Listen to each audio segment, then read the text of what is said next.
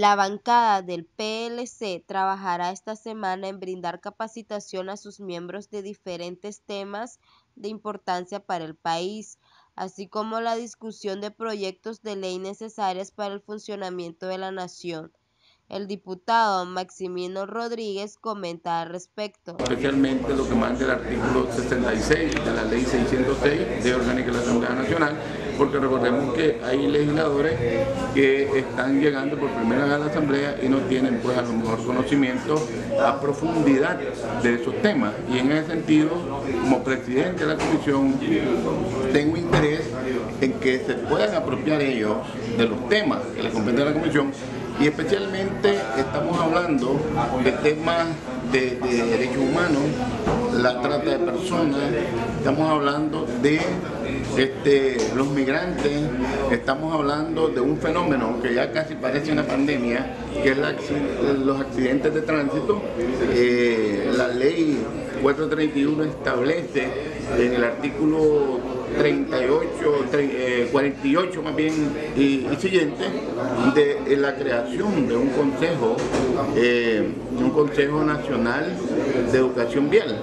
Y resulta que aparentemente se ha estado aplicando la ley con fines recaudatorios, fines pecuniarios, pero no se le ha dado la importancia que manda la ley en la educación en, materia vial. Inclusive la ley establece que se debe de educar a las niñas y a los niños desde su primaria, secundaria, universidad y los centros eh, técnicos vocacionales. Entonces en esa parte nosotros vamos a tratar de hablar con la instancia pertinente, con la especialidad de tránsito, con el Ministerio de Educación que está llamado a trabajar en la educación de los ciudadanos, que lo hagan, porque realmente no lo hemos visto que, que funcione. ¿Y este consejo funciona? No, por eso es que vemos nosotros que solo se, han quedado en la parte este, pecuniaria, es decir, multar, multar, pero en la parte educativa que manda la ley no se hacen muchas cosas. Aunque últimamente hemos visto y han divulgado de que eh, la policía está tratando de dar seminarios, pero digamos el tema de educar a las personas desde su escuela, desde su centro educativo, no existe. Y eso realmente es lo más importante, la prevención de eh, este tipo de, de, o, o, infracciones, perdón, o infracciones que cometemos las personas todos, porque no solo es hablar de los conductores, también hay que hablar de los peatones, que nosotros los vemos como de forma imprudente se lanzan los semáforos en rojo, ¿verdad? Y eso pues realmente está establecido en la ley que se debe educar desde los colegios, primaria, secundaria, universidades y los centros técnicos vocacionales. En tanto, el presidente de la bancada del PLC, Miguel Rosales, valoró como negativa la situación económica del país y la gestión del actual gobierno en temas de derechos humanos y otros. Todos sus proyectos, si es que tiene alguno, tiene que reconsiderar que este país está mal, que hay una crisis profunda, una crisis que afecta a todos los nicaragüenses, en el bolsillo, en el estómago, que no hay oportunidades de desarrollo, no hay oportunidades de empleo, no hay oportunidades de salud, no hay oportunidades de educación para la mayoría de los nicaragüenses. Si nos vamos al aspecto económico, hay abundancia, hay prosperidad para un pequeño grupo de nicaragüenses que se están beneficiando a costilla de la pobreza de una gran multitud en este país. Nosotros consideramos en términos negativos lo que se ha hecho en estos 10 años. ¿Por qué? Porque no hay desarrollo, no hay progreso, no hay bienestar para todos los nicaragüenses.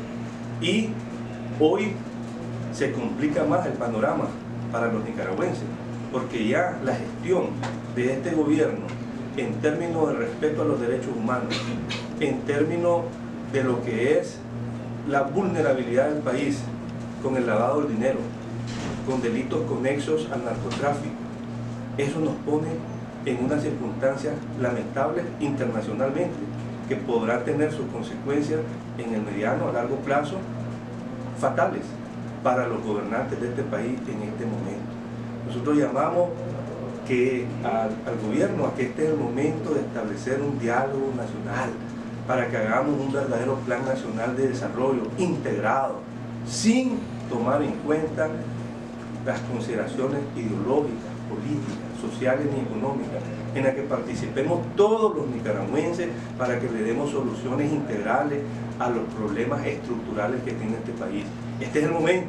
Esperemos que el gobierno reflexione sobre lo que está sucediendo, que no lleven a este país a un colapso, que no lleven a que el pueblo nicaragüense estalle socialmente en las calles, sino que este es un momento para que reflexionemos todos ante la realidad que estamos viviendo. Así que no desaprovechemos esa oportunidad, que se convoque inmediatamente un diálogo nacional, que pongamos garantes adecuados, que tengan un buen prestigio, una buena imagen, un buen nombre, que los hay, no es necesario traerlos del extranjero y que entre los nicaragüenses resolvamos todos estos problemas. El acuerdo entre... Eh, no compartimos lo que dice la OEA porque la OEA parte de una premisa de que las condiciones políticas electorales en este país están bien y que solo hay que darle una continuidad al proceso de perfeccionamiento del sistema democrático electoral. Esa premisa con la que parte la OEA para nosotros totalmente equivocada, porque aquí las condiciones económicas electorales no están bien, están mal. Entonces no hay, no hay que perfeccionar, hay que crear un buen proceso electoral. Luego hay que perfeccionarlo, pero la OEA dice al revés, dicen que las cosas aquí están bien y lo que hay que es darle una continuidad a ese proceso de perfeccionamiento.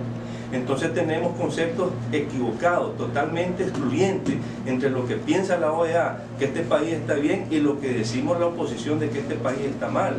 Entonces desde ese punto de vista nosotros no consideramos con buenos ojos lo que se está debatiendo en esas mesas de negociación entre la OEA y el gobierno de Nicaragua.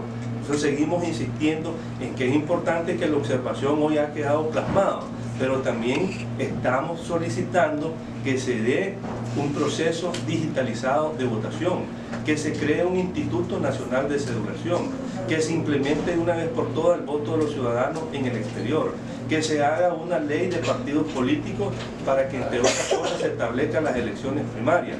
Pero también nosotros estamos solicitando que se cumpla la ley electoral para que las cosas que como hoy un, medio de comunicación ha resaltado, se siguen cometiendo delitos electorales y abusos, aunque la ley electoral es clara, taxativamente establece cuántos delitos electorales están ahí, pero... Con cámara de Martín Paisano, reportó Adela Ayerdis.